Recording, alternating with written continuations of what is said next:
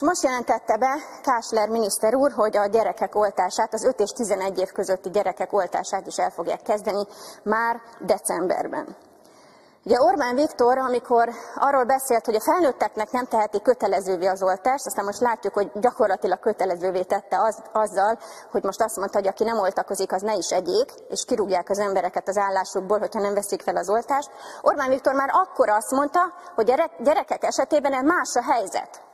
Gyerekek esetében el tudja képzelni, hogy kötelezővé teszik az oltást. És az, hogy 2 millió vakcinát rendelnek Magyarországon 5 és 11 év közötti gyerekek oltására, akik nagyjából 700 ezeren vannak, ez azt vetíti előre, hogy ez a vakcina mennyiség minden 5 és 11 éves kor közötti gyermek három oltására elegendő. Ez egyértelműen azt vetíti előre, hogy kötelezővé szeretnék tenni a gyerekeknek az oltást.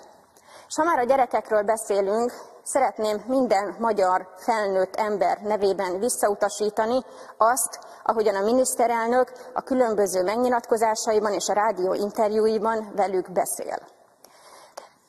Az, hogy gyerekekkel úgy beszél az ember, hogy lesz kis karácsony, meg nagy karácsony, az egy dolog de hogy a miniszterelnök felnőtt magyar állampolgárokat ennyire dedósnak néz, hogy ő úgy gondolja, hogy úgy kell beszélni a karácsonyi összejövetelekről, a családi együttlétekről, hogy most itt kis karácsony lesz, vagy nagy karácsony, ez egy infantilis dolog.